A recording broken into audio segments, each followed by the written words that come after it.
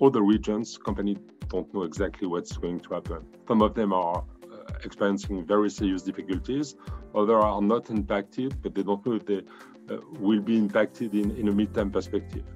So I would say that all the companies have a, a main goal, a main objective, it's to increase their resilience. And as you know, that resilience depends on teams and individuals. In that perspective, I think that uh, L&D has a role to play. Very difficult times, I think that uh, L&D can play a critical role. I've read um, a bestseller book, um, Humankind, uh, written by uh, Bregman, which is a, a Dutch journalist. And he, he, he, explained very clearly that you can overcome difficulties in any organization if you can rely on information sharing and cooperation. And information sharing and cooperation are two pillars of L&D. So that's why I, I think that L&D can help a lot.